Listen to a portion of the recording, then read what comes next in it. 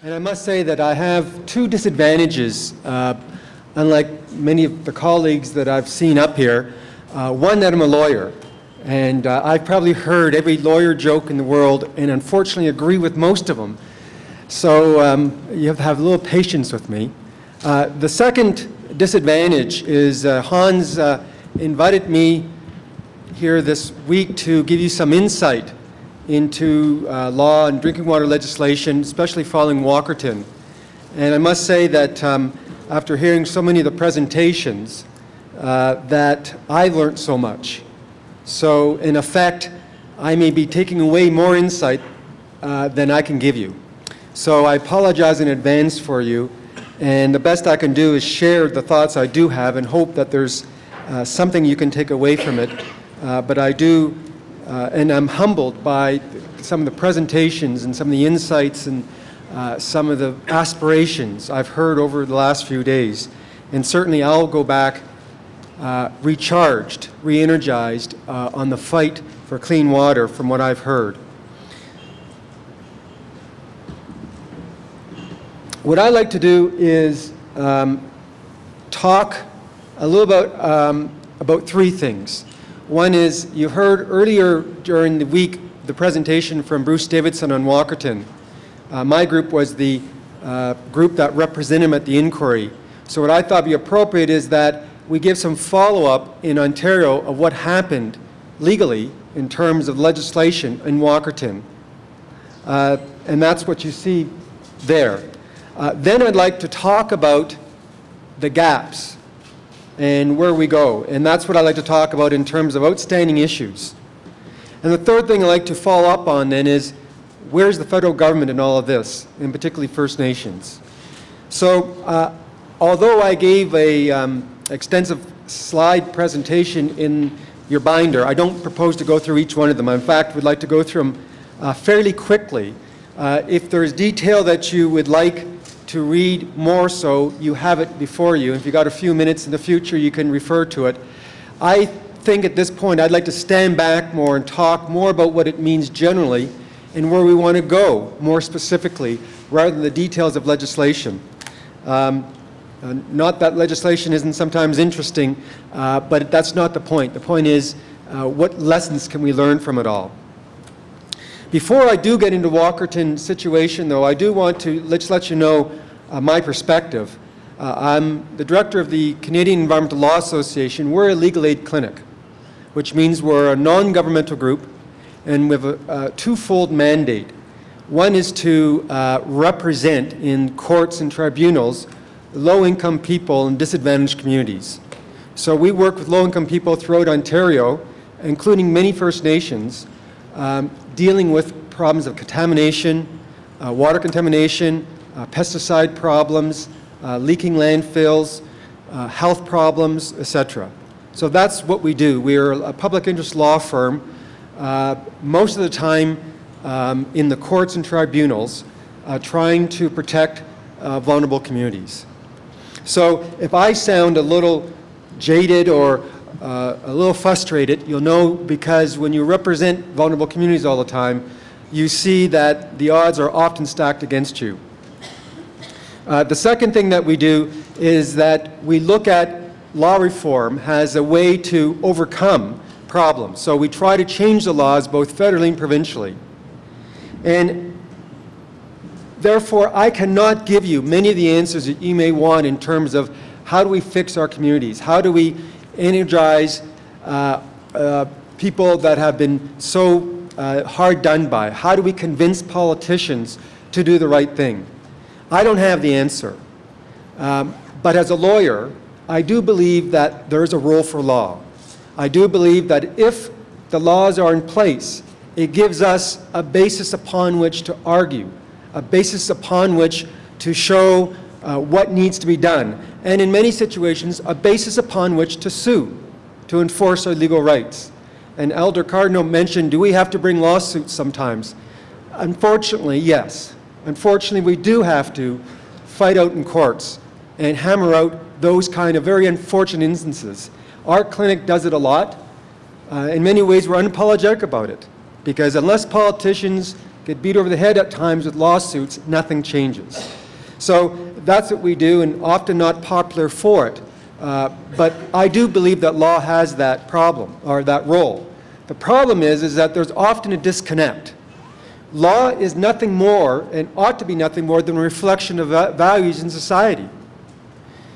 But I believe there is a disconnect. I believe that the values of Canadian society, in terms of looking after the vulnerable, looking after our resources, protecting children, is way ahead, more progressive. People are thinking more about it and want far more of this kind of protection than what the laws suggest.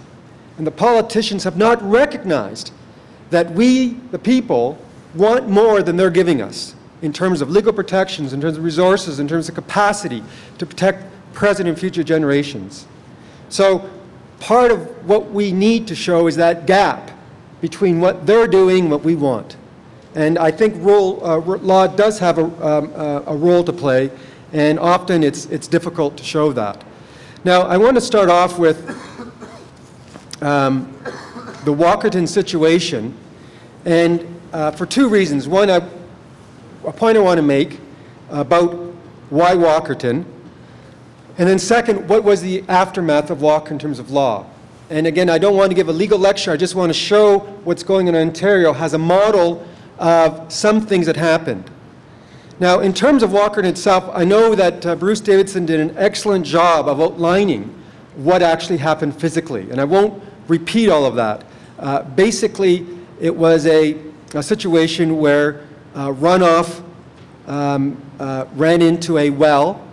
Uh, the well was used for drinking water, and uh, some people died, some 23 people, 100 got ill. Um, emanating from that was an inquiry. And that's where we represent Concerned Walkerton citizens, uh, a local group. And I want to say something just about that local group as an example, because you heard Bruce talk. We, we were retained by the group very soon after. And when we arrived in the community, what we saw was a very distressed community. I mean, we're from Toronto. We went to the small community. And we had no idea, despite the media, how impactful this tragedy was on every person in that community. It was a community under dire, dire stress, and you cannot imagine how awful. Some people dead, virtually everyone either sick or related to a sick person. So when we met these people for the first time, literally around a kitchen table, we really didn't know what to expect they wanted of us, and we didn't know what they wanted from the future in terms of the legal system. We were surprised because what they said is, what we're surprised is not what they wanted, but what they didn't want. They didn't want retribution. They didn't want money. They didn't want all that uh, remediation at first glance. What they said to us was, can you help us make sure that this does not happen to another community? And that, I must admit, fundamentally changed and uh, gave me an enormous insight into the depth and character of that community. That the first thing they thought of was prevention, rather than all the things I would have thought of if my children were in that situation. So I knew we'd be off to a good relationship and something special would happen. So uh, the Canadian Environmental Law Association did work with the group at the inquiry, and the inquiry had two parts to it, and I want to make sure you understand that because of what I'll say. The first part is what happened. What happened was the first part of what the inquiry wanted to find out. And there's two questions.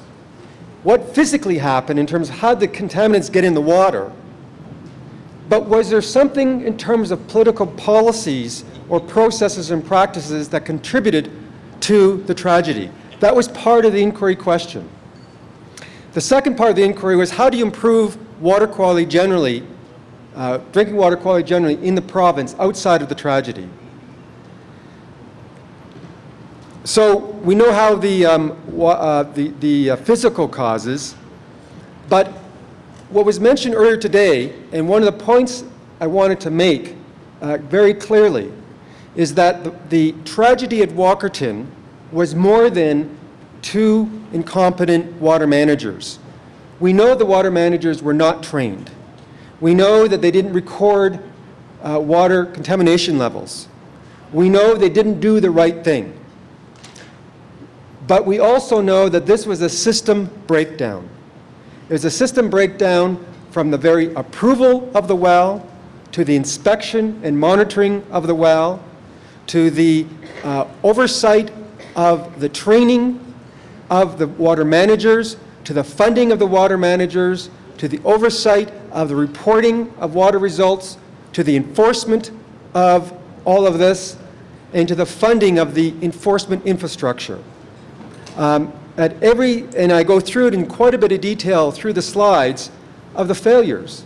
Justice O'Connor, who's the Court of Appeal judge that oversaw the inquiry, found, and one must remember that not only did three or four cabinet ministers appear at the public inquiry, the premier himself was cross-examined at the inquiry. So this was the only second time, I believe, in the history of Ontario where the premier well, a premier had to testify.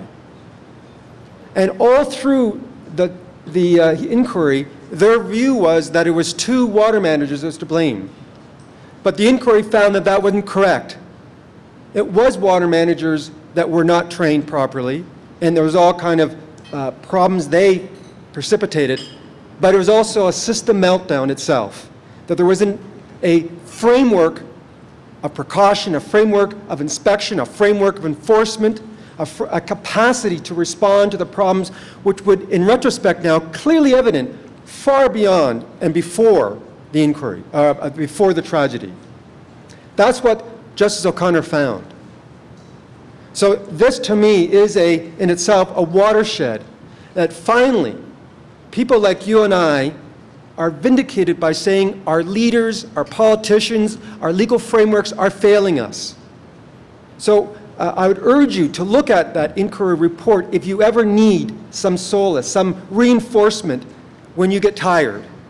Because after a year and a half inquiry, and one of the most reputable judges in Canada says the same thing, essentially what you and I are saying. And I go through in great detail again of what he found. And I, I won't uh, go into detail today, except the recommendations. And what Justice O'Connor recommended was something that we've heard about in the last few days, and what perhaps now is almost what, what, what you'd expect, and that you need a multi-barrier approach to water protection. We need to protect the sources of drink, drinking water, and we also need uh, efficient and optimized treatment and distribution systems, and of course, adequate uh, infrastructure to ensure that if one barrier breaks, if something happens in the, in the process of treating water, something else will capture it. And of course, this is what was found uh, in the British Columbia's Drinking Water Review Panel and uh, North Battleford recommendations. Now, I want to talk about what was the legislative outcomes of this, but I want to juxtapose one comment. I quick, quickly went through one of the slides of the history of the Canadian Environmental Law Association, and I don't want to say this in an arrogant way, but in 1980, we started a campaign in Ontario calling for a Safe Drinking Water Act. And many of my colleagues still at the association remember the campaign very well. And for over 11 years, we've been, I was personally been arguing for a safe drinking water in Ontario. And we put legislative models forward. We convinced uh, politicians to put private members' bills forward. We lobbied, we argued, we pleaded. You'll see now that two years after the Walkerton inquiry, we have a Safe Drinking Water Act in Ontario. What's the lesson? The inevitable lesson, the unfortunate lesson, the tragic lesson is that people had to die before politicians would create the act. That is a crummy way to make public policy, to say the very, very least. But that's the outcome. That's the inevitable conclusion that one, I, that one could learn. Let's hope I'm wrong. Let's hope that there was other factors that led to this conclusion. But I just want to make very clear to you that the campaign for clean water in Ontario was two decades old before Walkerton. So um, many of the outcomes are not new in terms of innovation.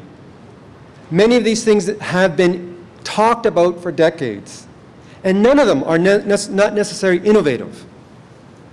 But the solace of it all is that they're now coming into place. We now have that framework we didn't have. And in, to a huge part is because of the community in Walkerton, as I mentioned at the start of my talk, that said, our job here is to ensure this never happens again. So in many ways, the pieces of legislation here is a tribute to the Walkerton community.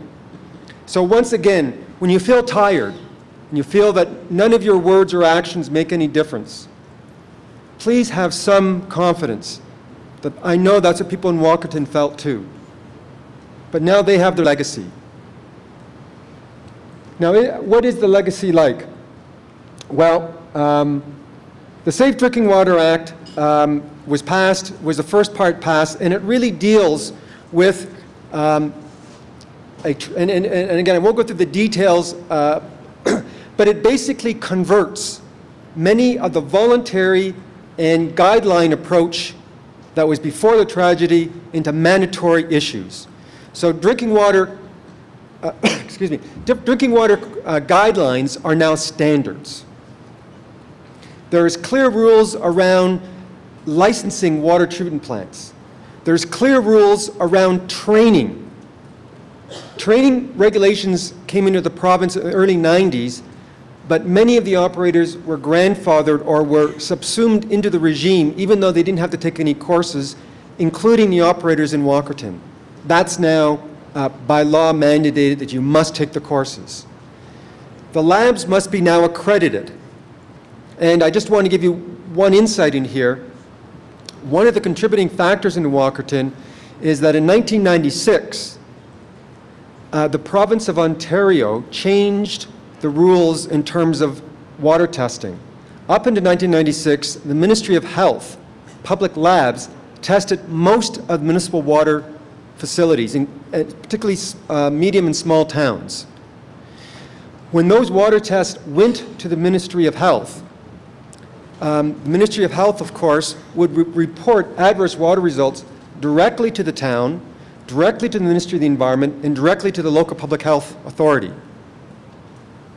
The Ontario Drinking Water Objective said that's what you should do. In 1996, um, budget cuts forced the uh, government, or not forced them, the budget cuts dictated that the public labs were closed. So towns like Walkerton then had to contract out the testing of their water. They contracted out to a small firm that never tested water for microbiological criteria before. It was a lab that focused on chemicals. So in May of 2000, which was the date of the tragedy, was the first month that in fact they tested for this kind of stuff. When they found it, their view was that they only had to report to the water manager. Even though the Ontario drinking water guidelines suggest or stated they must report it to the Ministry of the Environment, they must report it to the local med- uh, medical officer of health, they only report it to the water quality manager under the view that they're under contract. It's proprietary information. So the manager knew about this for days while the Walkerton town was looking for what's causing the illness. He had the piece of paper in his hand, we think. And there's some dispute about that, but nevertheless, we knew the lab did not communicate that to anything but the water quality manager. So that's what happens when deregulation and budget cuts happen without some thought. And as evidence came out in the inquiry, is that the Minister of Health wrote the Environment Minister in 1996, 1997, says, if you cut public, uh, public labs, there will be confusion about who reports to whom. You must create a regulation. And that was done three years before the tragedy. So uh, that goes to the fact that, that the Drinking Water Safety Water Act attempts to overcome all of those issues by legislating requiring uh, those reporting relationships. Uh, accreditation of labs, accreditation of training, uh, water quality standards, advisory committees on the standards, etc. So that's one barrier that was done, and it took about a year and a half to two years to enact the regulations. Um, is it a good act? It's pretty good, um, and it's, it's, uh, it's pretty focused in terms that the Ministry of the Environment, I think, is spending a, a fair amount of time looking at it. The second um, issue was nutrient management. And the Nutrient Management Act um, was conceived before the tragedy, but was really fast-tracked after it. And this requires uh, certain requirements of farms in terms of um, farm management plan, manure management plans, nutrient management plans, um, on how to treat it. And this is, again, the goal was to prevent the migration uh, of contaminants into drinking water. Um, unfortunately, as you'll see, um, only large farms were covered under the initial regulations, and the smaller farms and the full weight of the law will not um, actually occur until 2008. And that's been a very controversial issue in Ontario. The third or another barrier is what we call source protection, and this is what's in the works now, and I'll just describe it quickly, but it is fascinating. One of the things that the government refused initially to do after the Safe Drinking Water Act and after nutrient management was to protect the sources of drinking water. So many of us worked pretty hard in trying to convince the government that it takes more than treatment to protect drinking water. You must protect the water that's in the ground and on the surface before you put it into any system. So um, in the fall of uh, 2002, a committee was struck that reported in April of 2003. And then um, uh, we now have draft legislation called source protection legislation. And I will uh, uh, briefly tell you how it, we think it's going to work. The province will be divided into 36 watersheds. And they're physical watersheds, the Grand River watershed, the uh, Credit Valley watershed, uh, the Long Point uh, watershed. Each of these watersheds will have a plan that assesses and, and determines where the sources of drinking water are and then creates, in effect, a regime to protect those sources. The important part uh, of that is, and this goes through the criteria, um, it gives us a basis upon which to understand what are the threats and stresses for those sources of drinking water. And then it gives some sense of how to overt or overtly deal with those stresses and protect them. The important thing about the plan is that once the plan is in place, no, uh, our goal is that no land use planning decision can override the plan. So you can't put a factory or zone something within the plan that's inconsistent with the goals and structure of that source protection or watershed protection plan. So you can imagine it's not greeted totally with a lot of friendliness by certain developers, etc., because what we're saying is, is that source of drinking water from a land use perspective, from an environmental perspective, is going to have precedence. It's going to take priority over other uses. That's the goal. The other uh, aspect of it is that we want the plan to be inclusive and participatory. In other words, those that are affected and are part of that watershed will be at the table we're arguing for to protect the water. And uh, as I move on, you'll see that one of the things that we've been arguing strenuously for is to ensure that the First Nations are at the table, that they're part, intimately part of the watershed planning process, and that they have the capacity to be at the table. Um, and again, the, uh, the slides I have create a lot more detail about this stuff, uh, which I will leave with you. At the end of the day, it's the Ministry of the Environment that will approve the plan based on certain criteria. Whether or not this will work and whether or not it'll get passed legislation, we don't know, but at least there will be a plan in place based on the watershed to protect the sources of water. That's the intent.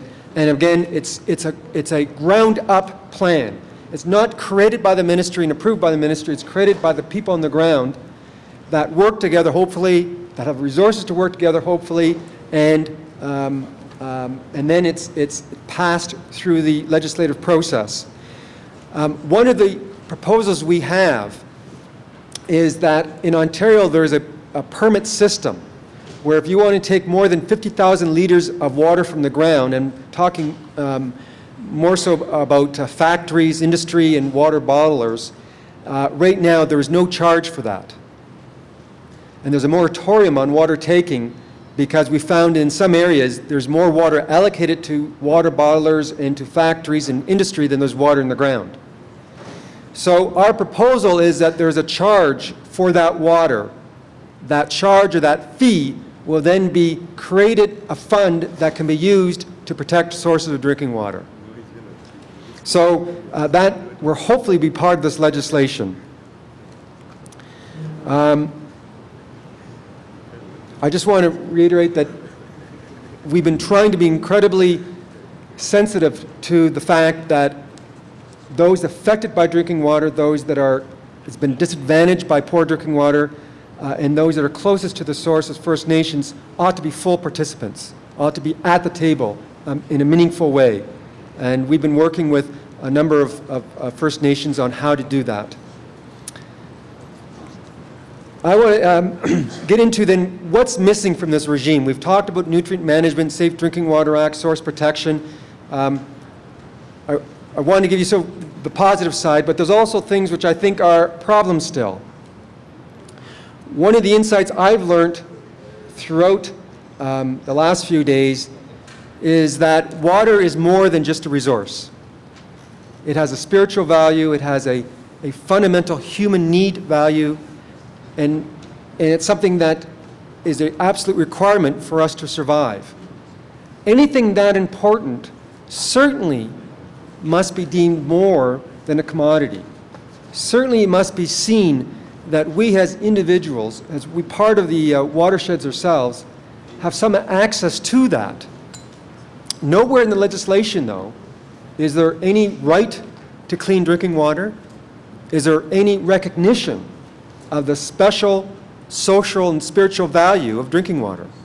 So, uh, in, our, in our view, uh, this is one of the absences, both in Ontario and at the federal realm, is that drinking water and access to it has no special status.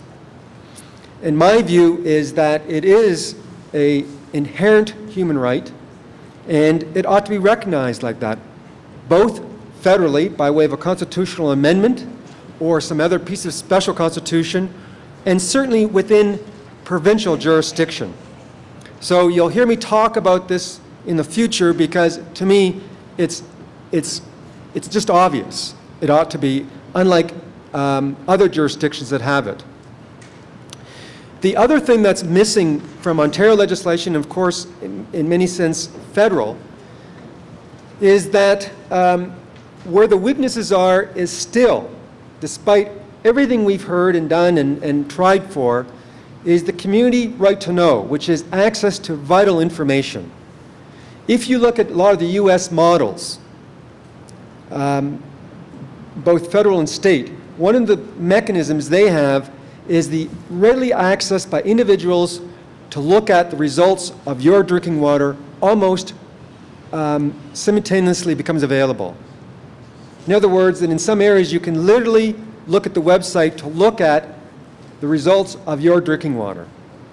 In our view, it's fundamentally important that every resident has access to the quality, to the information, the data on the quality of their drinking water. This is something we didn't win in terms of the legislative fight. So in our view, unless we create transparency of information and access to information on what the quality of the water is in real time, then we'll never get the truth. There'll always be excuses, there'll always be uh, people hiding behind the absence of information. We've got models of where this is done. It's not a technological issue. It's not an issue of, of, of, of anything other than simply political will. So that's another absence. And one of the other real challenges in Ontario, and I'm sure across Canada, is how do we ensure the quality of drinking water for small drinking water systems as we do for bigger systems. Uh, Justice O'Connor at the Walkerton Inquiry um, was lobbied, and uh, many people suggested that maybe it's best that there's two tiers, one for big municipalities and one for small. And uh, if you go through the report, uh, Justice O'Connor was very, very clear that everyone has the equal right to safe drinking water, whether you live in small communities or big communities, whether you live in rich communities or poor communities, that that is a non-negotiable. And it's up to government to find means and ways to ensure the viability and the safety of drinking water. It is not where we want two-tier systems, one for the haves and one for the have-nots. And uh, from our clinic perspective, it's always been a challenge because we've seen small communities come to our office and say, it's going to cost X amount of money to, impo- to, to meet these new regulations. How can we do it without going bankrupt? Um, and I have great empathy for that, and we've been trying to figure out funding mechanisms and working with municipalities to figure out how best to do it. Because on one hand, we want them to have safe drinking water. On the other hand, we don't want them bankrupt. Um, and of course, the problem with many small communities, inherently, they, don't have, they do not have the finances to do it. Uh, Justice O'Connor was also very clear and recognized unequivocally the challenge uh, First Nations has with drinking water. And he went through in a chapter, uh, a special chapter on the challenges facing First Nations. And again, uh, we're, we're trying to follow up uh, in the legislative process of how to address many of this in a way in terms of, of talking to First Nations and seeing what help we can give them. And again, these are just more recommendations that he went through, focusing on Ontario First Nations and, and how he thought that some of his recommendations could help them. And uh, again, they're all listed um, in, in, my, um, in, in, in the notes in your binder. The reason I jumped right to this slide was this is that, let's face it, um, there is a tremendous deficit across the country, just not in Ontario, in terms of drinking water. It's nowhere better felt than within First Nations.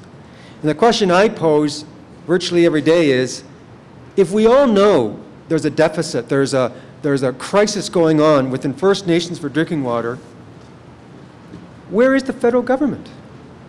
Where is their fiduciary duty their special duty to protect all Canadians and to protect those which are being harmed. Um, certainly, drinking water is a classic example where groups like ours, and I know so many of you, have reminded them of their duty to work with and for all Canadians on this issue. And right now, uh, clearly their role on drinking water has been quite limited both within First Nations context and outside of it. Often they blame the Constitution in the sense that it gives them such a limited role, and we know that that's just an excuse. That is why that we proposed that what we need is a some sort of legal right based either on the Constitution or some other uh, national way that gives each and every one of us access to clean, drinkable water. Uh, as uh, mentioned the other night by Jack Layton, a bill was introduced about three years ago that wouldn't have gone this far, but would have gone pretty far in creating that legal hook, that legal basis for the government to do it. And the reason I'm so insistent on it is twofold. One is if they have the legal obligation to do it, it's much easier to get money to exercise that legal right. And second, if they don't exercise that legal right, groups like ours and other groups across Canada can hold their feet to the fire in courts and tribunals across the country. And I know, again, that's not the best way to make public policy. The best way to make public policy is to sit around the table and work it out. But nevertheless, in, I know many of you have tried that, and I know the frustration. So maybe there has to be another way. But anyways, my vision is a Safe Drinking Water Act that ensures the government or guarantees some access by Canadians to that water. It will help better coordinate uh, drinking water standards, so there's at least a floor, a basis, common basis, so that people in small communities get just as good water as those in large communities. That people in vulnerable communities and poor communities are not disadvantaged, not disproportionately affected like so many, um, like, like it is now. And third is that um, it seems to me that really what we need is a federal government that's willing to take the leadership role in investing in small communities and drinking water systems. In my mind, um, it is the federal government that has the resources to invest in infrastructure, in piping, in new technologies. Canada should be the leader in new technologies, in water technologies. We should have uh, and be bragging about what we've done in small communities. We should be boasting about our technological innovation. Instead, we're hiding from it. All the things I've outlined in this presentation um, are well within federal jurisdiction. I, I, would challenge any federal official to say that they do not have jurisdiction or constitutional authority to do it. The question is not a legal issue at this point, it's simply political will. And one of the other issues was the development of more comprehensive and strict drinking water guidelines and standards for across the country. What I want to conclude with is simply this, and I'll make it just three points. Uh, first and foremost is I brought up Walkerton not to show whether Ontario's going in the right direction or not. I brought up Walkerton to, in a way, lament the way public policy in drinking water has happened in, in Canada. That has to, something bad has to happen. I think in the last two or three days you've heard in this room something bad is happening. There are many slow Walkertons in Canada. And uh, I think we need to continue to work together to convince politicians that that crisis is already happening to spark the kind of activity that we now see in Ontario. The second is that the failure of what's going on now cannot be blamed on any one community or any one individual. We really do have a, a gap between what people want and what governments are willing to do. In my view, there's a broad consensus within Canadian society that there needs for action in small communities and particularly First Nations. The third and last message is this is do not get discouraged. Do not get discouraged. The stories I've heard and the people I've met and the triumphs I've heard in the last few days gives anyone, I think, the hope that we can overcome these problems. When I look, uh, talk to or, or listen to uh, Tom Goldtooth, to uh, Paulette Tremblay, these are the heroes of this generation. These are the people that will, are the revolutionaries that will change the legal framework. It's our duty, I think, to help them in any way we can and help your uh, people like that in your community. And if there's anything that we can do at our clinic, we'll try our best to give you that kind of support and assistance. Thank you very much.